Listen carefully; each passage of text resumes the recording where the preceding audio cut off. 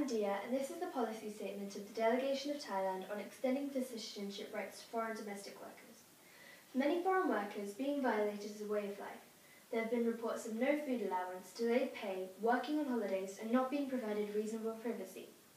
In Thailand, foreign workers are often face exploitation and abuse at the hands of employers. In several cases, foreign domestic workers are being denied of basic human rights, such as food deprivation, and Thailand believes that this needs to change. Already in Thailand, a new ministerial regulation has, has entered, extending the rights such as the right to a weekly day of rest, traditional public holidays, sick leave, and payment of unused leave days in case of termination for domestic workers. Further, it provides the general minimum age for admission to employment set by the Labour Protection Act is applicable to domestic workers.